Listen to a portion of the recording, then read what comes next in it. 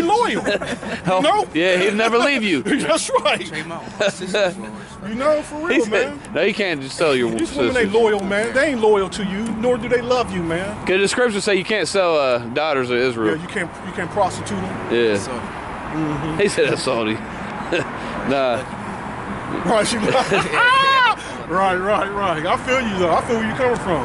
But my sisters ain't worth value trading for shit anyway, man. my sisters is garbage, man. They the lowest of women you can get, man. My sisters. I'm talking about my sisters. My sisters, my aunts, man, they're the lowest pieces of garbage you can ever see, man. They low lives, man. Low lives. Shit, that's almost everybody. You know?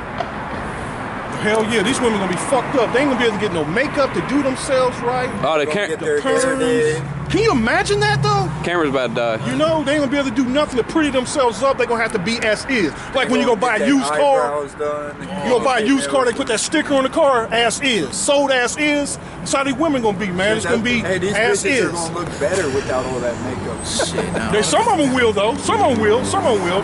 Some of them actually.